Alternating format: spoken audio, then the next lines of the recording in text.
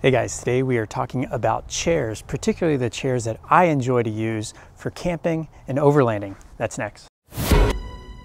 Welcome to Backcountry Renegade. I'm Jeff. If you're new here, this channel is all about hiking, backpacking, overlanding, and all the gear in between. If you're interested in those things too, consider subscribing.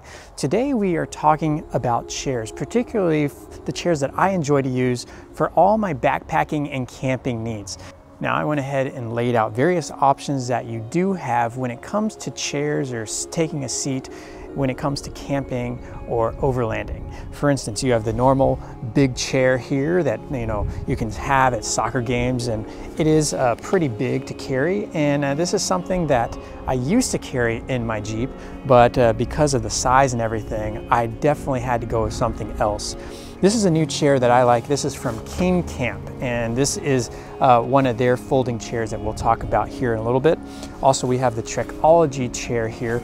This is a chair that I typically use for my backpacking, and this is a Helinox uh, Chair Zero here, and this is a pretty awesome uh, chair here, but it's not so much the chair I would choose for overlanding, and that'll become a little bit more obvious later.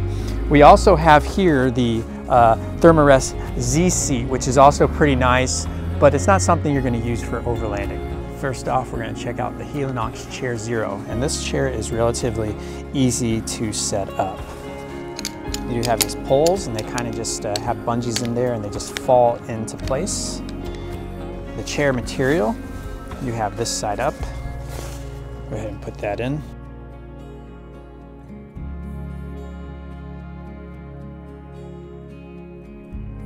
At only a pound, it's a pretty awesome chair, but you can also see how low to the ground you are. Now, if you're sitting next to a campfire at, at camp, that's a pretty cool thing. Um, but if you're at a typical campsite, you have tables, you have things like that, this is gonna be a little bit low to the ground and it's not adjustable. But for backpacking, uh, this is a great chair for that. Keeps you off the ground and uh, keeps you relatively nice and dry. So uh, great backpacking chair, not so great for camping or overlanding. The next chair is this Trekology chair. Now setup is very similar to the Helinox chair. The cool thing I like about this chair is it does have these adjustable legs. Now I like it right here in the middle, and uh, but you can go lower, you can go um, you can go higher if you want, and uh, that option is cool, but it does add to the weight, so something to consider. And so sets up very much like the Helinox, but you can see quite the size difference here between the two and it comes at the cost of weight.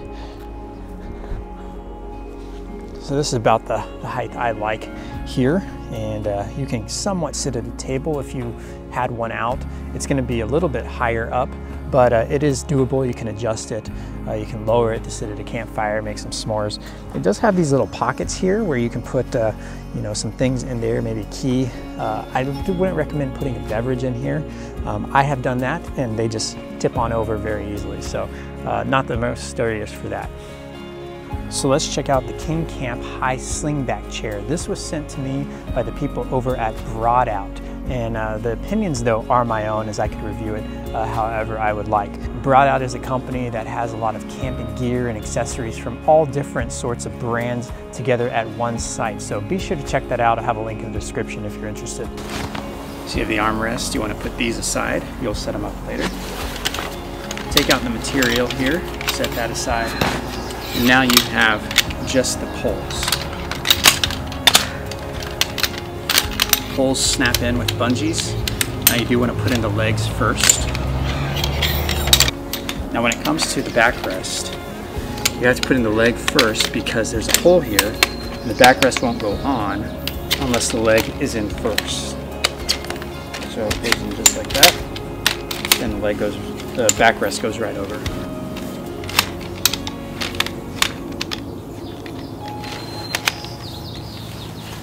All right, so there you go.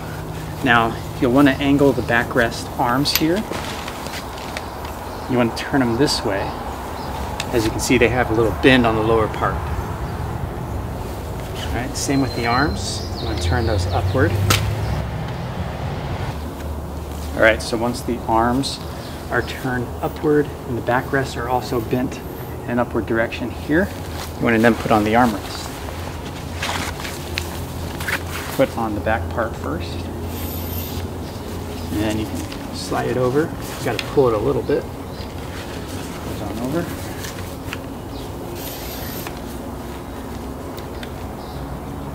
And the armrests go on this outer post here.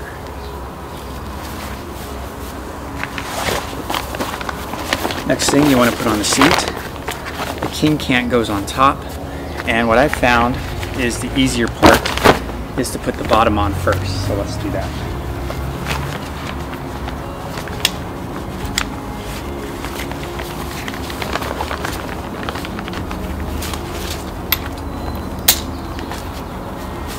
And there you have it. So now you have your high slingback chair, which is pretty nice. And the cool thing is you have armrest. You can see it's gonna sit about the height of the Trekology chair, slightly higher, but you have a backrest. And the cool thing is you also have a little bit of padding on the head, so you can just relax back, set your feet out, have your armrest, and then you have a nice little cup holder here, which is much more durable than these little things uh, that Trekology has. Plus you have a nice little pocket underneath here that has some Velcro, where if you wanted to actually store things, say like uh, if you wanted to have like for me, uh, maybe you get the chocolate for s'mores or something, you want to just store it down there, or maybe a flashlight, something like that. You can put it there and let it hang through. If you don't want to use it, there's Velcro underneath. You just push it up and it stays up there, doesn't interfere. So pretty cool with that. So that is the King Camp chair and it's durable and you can rec recline back pretty easily.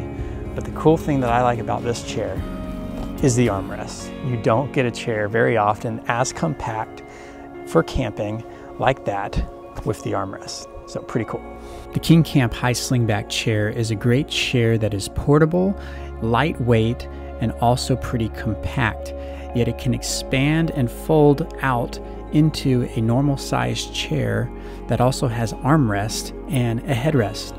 It weighs in at 3.7 pounds and has a weight capacity of 365 pounds. In its pack size, it is about 20 inches by 6 inches by 4 inches. In its unfolded dimensions, it's about 26 inches by 33 inches by 40 inches. The primary uses I see this chair for is for camping and overlanding. While it's advertised as an ultralight backpacking chair at 3.7 pounds, that's going to be a pretty heavy chair to put in your backpack. Now, for me, who uses uh, a backpack with a base weight of 12 pounds total, uh, this would be almost a quarter of the weight if I went with that. So, this is not the chair that I would choose for backpacking. Instead, I would go with the Helinox Chair Zero. But when it comes to camping and overlanding, this is an excellent chair. The high slingback chair sells for $67 on broadout.com. But for an extra 22 bucks, you can get the upgraded version that has an adjustable backrest. This one really has me intrigued as it also has additional padding and it's not too much more in the weight category. So I would love to get my hands and test out this one. But for now, the high slingback chair that I have here is my go-to for overlanding. Now we're gonna compare that to the King Camp chair here. As you can see, relatively good height from the table. You can play cards, you can have dinner here, you have your armrest, you have your cup holder. If you wanna lean back and just relax from a, a tough day, you have your high uh, sling back. And the cool thing about the high sling back is you can go ahead and recline back and you have support for your head plus some padding, so some extra comfort from this chair. So overall, with the package, with the lightweightness, but all these cool features like armrest and the, the support for your head, uh, pretty hard to beat when it comes to camping and overlanding. So you can see why it's my personal pick. All right, so let's now check out the typical uh, tailgating chair that I have here. And we'll set this up real easily.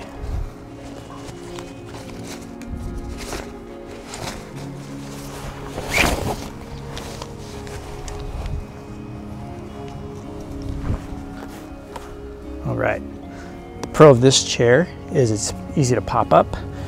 You have armrests, you have cup holders, and it's sturdy, but it's big, it's bulky, and it's not ideal if you're trying to make room in your Jeep.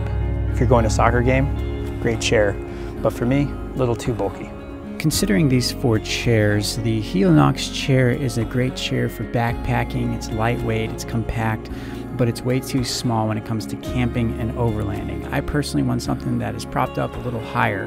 The Trekology chair is slightly better in that it can be adjustable at the feet, but it also is too small in certain areas with no armrest or headrest. The typical pop up chair is one that is nice when it's all set up, but you also have to deal with the heavy weight and the bulkiness of storing it in the car. The King Camp High Slingback chair has all the cool features of a full size chair, yet in a small, compact design. It's lightweight, it has armrests, it also has a headrest as well in the back that has some padding, so pretty neat as well. So, all the cool features for something to have for overlanding or camping. So, this is the perfect chair for me. Now when it comes to chairs for overlanding and camping, there are several things I look for. One, I want something that doesn't keep me so close to the ground, kind of like a backpacking chair does. While, while this is lightweight and while it can uh, have a good chair to sit at while I backpack and everything, it's great for my back, but when it comes to camping and overlanding, weight is not so much of an issue. But size is. Size is an issue for me, and that's why I wouldn't take something so big like this because it's gonna take up a lot of room in my Jeep. So I want something compact, relatively lightweight, but can do all the necessary things that typical chairs can do. So that led me ultimately to choosing between uh, these two chairs, a Trekology chair and this King Camp chair. Now let's consider the pros of the King Camp chair. First off, the pro that I like about it is it's relatively compact. Now, when it comes to storing things in my Jeep, this fits really nicely on my shelf in the back there, and so I can store it pretty easily and it still doesn't take up tons of room or anything, but I always have a go-to chair that's gonna do everything I need it to. Another pro about it is it's relatively uh, affordable. It comes under $70, which is pretty cool. And if you go on Broadout, you can also find them on specials uh, on there as well.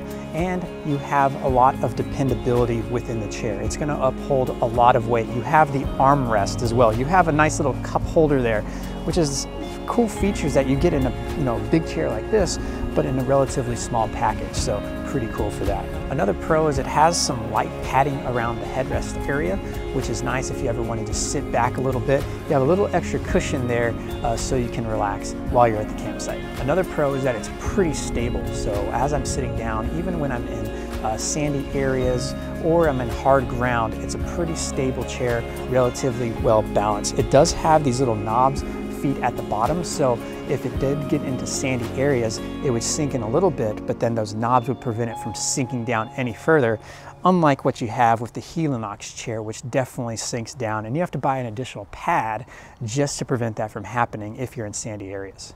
Another pro about this chair is it's pretty durable. From my testing, you have this tear resistant fabric that's really durable and it's not going to rip or tear very easily. Also, you have anti-rot uh, aluminum posts here for the legs and everything. So it's lightweight, yet it's very dependable. So it can also hold up to up to 330 pounds is what's advertised. Now, I have no way of testing that out. I'm relatively lightweight, but um, that's pretty pretty awesome if it's able to do that for sure. Now let's consider the cons. The first con for me obviously has to do with the size and weight. It's actually advertised on their website as a backpacking chair. Now my suggestion is that they would change that to an overlanding camping chair, not backpacking, because this comes in just on over 3.5 pounds plus the dimensions of this is about the size of a backpack. So if you want to have a chair take up most of the room in your backpack and you want it to have at least a quarter of the weight,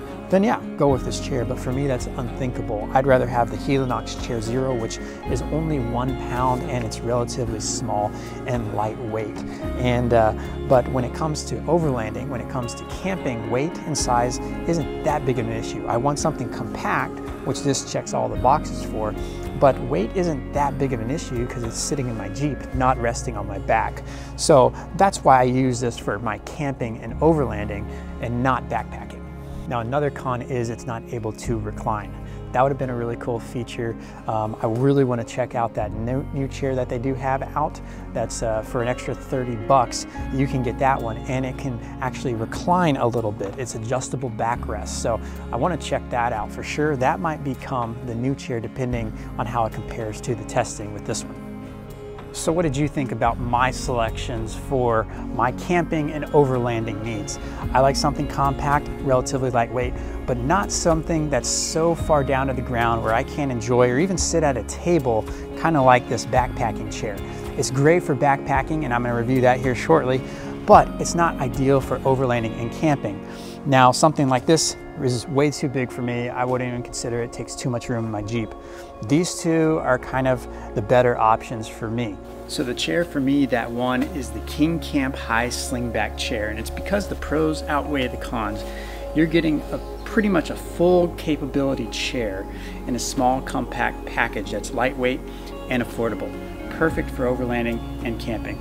So what did you think of these chairs? Would you choose the King Camp chair or would you choose something else? Let me know in the comments. If you like what you saw, also make sure to subscribe and make sure to give me a thumbs up. And as always, thanks for watching.